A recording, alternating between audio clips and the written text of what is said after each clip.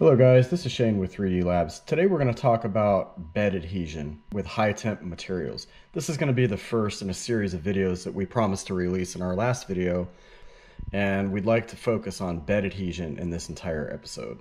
We're going to talk about some common materials used for bed adhesion that you may or may not heard of and we're going to talk about some lesser known ones and some products. Then we're going to talk about what we do for bed adhesion here at 3D Labs for high temp filaments. So here we have some commonly used things for bed adhesion. The first one being purple glue stick. You probably know it, you probably love it, you probably have heard of it at least if you don't use it. It's the most popular adhesive for 3D printing that I know of at least. It works. It works with materials all the way up to Ultem, PEEK, all the way down to PLA, and it works fantastically well.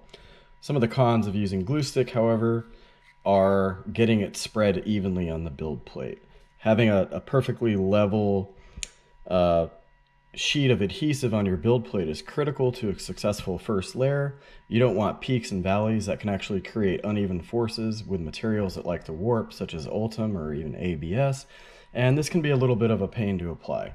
Um, there is the tried and true bake and scrape method in which you apply two to three sheets of or layers of glue stick to your substrate being glass and then you heat that up in the printer for about three to five minutes at 100 degrees Celsius, and you scrape it off with a razor blade and wipe it off.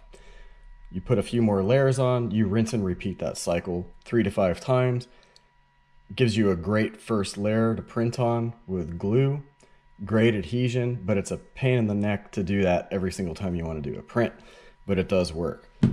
Next, ABS juice, you've probably heard of this, ABS slurry. You take a little bit of ABS, you throw it in some acetone, and you let it melt over the course of a couple hours or a couple of days, and you have a nice goop that you can pour on the build plate, spread it out with a spatula or a brush. And this works absolutely wonderful for ABS, PLA, PETG, filaments of that nature. Um, this starts to fall apart when you print anything high temp polycarbonate, things like that. When you start to get the bed above the glass transition temperature, it seems to lose its effectiveness, at least in our testing. It does not work for high temp filaments. Um, the next thing you have, if you have a FunMat HT, you may have received a large roll of tape, Kapton tape. Uh, this stuff is great. This is great for anything at about the, the polycarbonate level, I would say, and below. You'll be very successful with this. You can print right on it or you can put glue stick on it as a separation layer. Uh, some of the cons of this are that uh, it, uh, it breaks extremely easily. It needs to be replaced a lot because when you're scraping those prints off the build plate, you know, if you've got a nice big scraper like the Zortrax one that we use, it just, it, it rips, it tears, it pokes it, but it does work. But it doesn't work on high temp filaments beyond polycarbonate in my experience. What happens is the pulling forces of the Ultem or the the PEKK or the PEEK or whatever it is you're printing will start to peel. They will bond to the tape, and the same goes for PEI tape. They will actually start peeling the tape off the bed. They will stick to it. The same thing happens with a PEI sheet adhered to a glass plate with 3M adhesive. That's another popular 3D printing solution for adhesive again, that doesn't work with high temp filaments because it will actually make the adhesive that is backing the PEI sheet fail and pull it up and pull it off of the substrate below it. So that does not work. Now there are other products on the market geared for high temp 3D printing, such as this Vision Miner, Vision Miner Nano adhesive, and it works very well uh, in our experience. We, you know, we use it from time to time. Um, as you can see, they you know they changed the product a little bit. First, it used to come in uh, an open top bottle like this. Works pretty good. Um, there's not really any cons to it other than it's you know it's expensive. Um, now I'm going to talk about what we do here at 3D Labs. I haven't heard anybody else talk about this, um, but this is what we do in house, and it works as good or better than any of the commercial solutions we've tried. Uh, so you may or may not heard of Aquatek. It is a product put out by 3DXTech. It is a PVA alternative water soluble support. Um, and what it's commonly used for is for printing with ABS with water soluble supports. Um, PVA typically doesn't stick to ABS very well because of the the uh, the differences in, in print temperatures. The ABS is a little bit too hot and it doesn't really stick to it. This works a lot better, and this is not nearly as susceptible to moisture as PVA as well. Um, but anyway, this being a water soluble filament, uh, we we have taken this and been highly successful with 3D printing high temp materials on a glass build plate by simply dissolving uh, BVOH filament in a mixture of water and alcohol. Now I'll list the exact recipe that we use in the description, um, but typically what we do is I mix, this is a 17 ounce bottle of water. I'll pour out about half of this and I'll fill it up with pure IPA alcohol. Uh, and then I will put about 40 grams of BVOH into that. I will let this dissolve for about two days. Um, sometimes I like to throw a little PVA glue stick in there just for good measure. Shake this up, and this stuff is amazing. It's very easy to spread. Uh, you can use a simple art brush to spread it on the build plate. You get a nice even coat, and it works really well for high temp materials. Uh, now I'm going to go over to one of our high temp machines and I'm going to show you how to apply it. Okay, so I'm here at one of our high temp machines. What I'm going to do is pour some of the BVOH slurries, I like to call it, on the build plate. And I'm going to show you how easy it is to apply. Now I'm going to do this with one hand because I'm holding the camera. Uh, so bear with me as I... What I like to do is I just I pour out a little bit in the middle of the build plate. I take a an acrylic art brush and then I just apply that over the area where I think I'm going to be printing.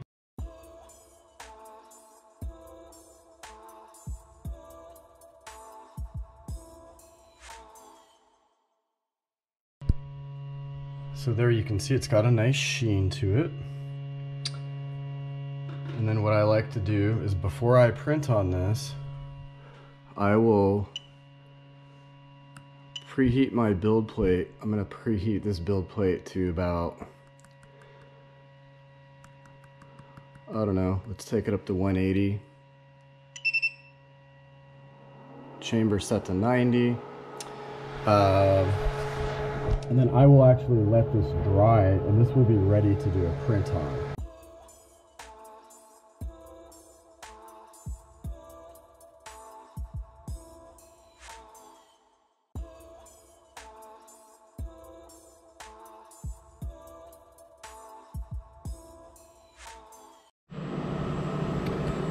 Alrighty, so the print is done, and as you can see, let me just move this out of the way. That is very hot. You can see it did not peel off of the bed at all. Um,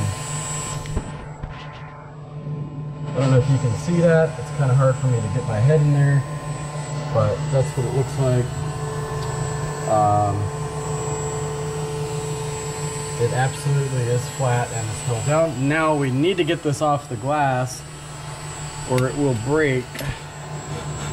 So I just take my Zortrax spatula and kind of, you, can see how, how well attached it is.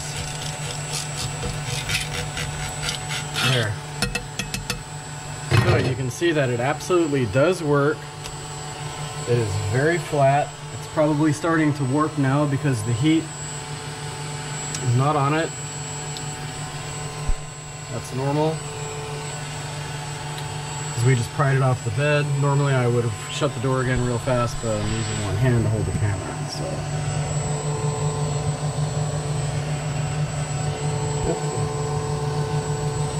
And you can see, we'll go ahead and just take this out of the machine. Take a look at it. See the beautiful surface finish. This is PSU, by the way. I don't know if I mentioned that, uh, but you can see got a really nice first layer and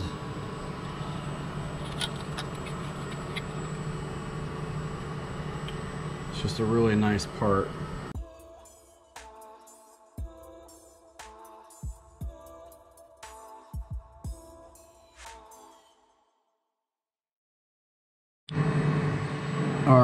we are back. I just cleaned up the Izod bar, the dumbbell, and it looks beautiful. You can see the surface quality on that is very, very nice.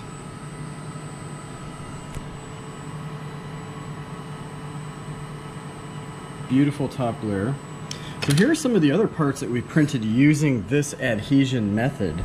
Uh, we actually printed a this is about a 10 or 11 inch uh, crescent wrench from Thingiverse, and this is printed in Ultem 9085. Now you can see that this adhered to the plate wonderfully using this method. Um, no issues whatsoever though with this. As long as you get that bed hot enough, this method works absolutely great. Uh, I think we printed this one at, I think we had the bed at 175 or 180. Uh, so it was just below the TG of Ultem 9085. That seems to be the, the best way to do it in our experience.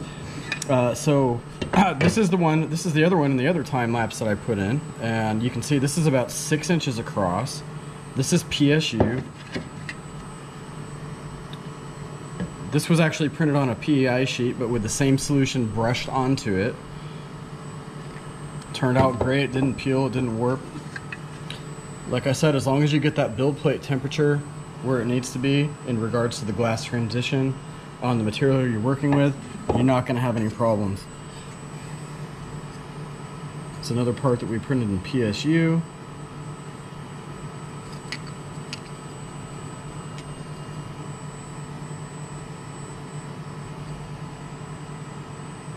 No issues with that either. This is actually an Ultem 1010 part that we printed using that. As you can see, it's a cylindrical object though, so it's not real hard to print stuff like this. Cylindrical stuff tends to be very easy to print, but just another example. This is PSU. This is a turbo intake prototype that we found on GrabCAD. Let's take a look at the bottom. You can see it leaves a little burning residue sometimes. The BVOH, depending on the temperature or how thick you put it on, or maybe the mixture just depends on how much you put in and, and all that kind of thing. Uh, you'll have to experiment it, with it. Um, now your mileage may vary with this. Uh, this is what we do. This is what works for us. But again, your mileage may vary. If you don't like doing things yourself, you want something that does work right out of the box. You know, you can buy one of the commercial solutions. From a business standpoint, it probably makes sense if you're wasting a lot of time mixing your own materials.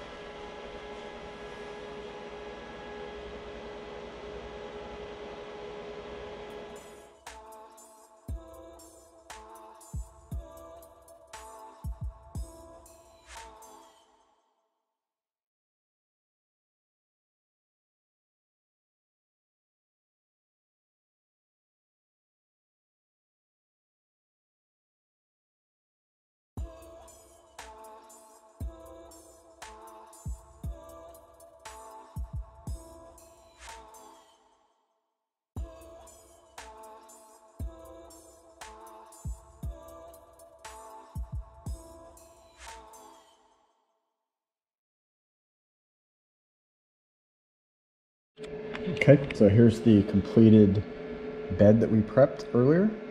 As you can see, the glue has been baking for some time. Looks nice and even for us. So what we're gonna do now is we're gonna go ahead and do a print. We've got some carbon fiber PEEK, uh, courtesy of Solvay Filaments.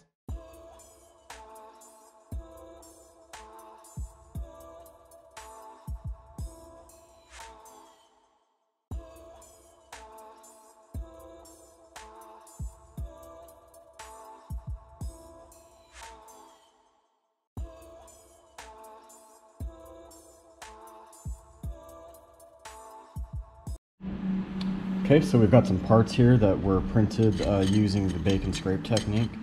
Uh, these are some filament samples for a filament supplier, um, some carbon fiber PEEK. Uh, these were printed uh, standing tall. Really nice surface texture. So these are the ones that were actually printed flat uh, in the time lapse. So we can take a look at those. It looks really nice. Um, like I said, a little tiny bit of uh, outline overlap could probably be increased on that, but you can see that that fat first layer really gets the job done. Even though it doesn't look super great, but it, really, really works good. And these were printed sitting on the bed like this.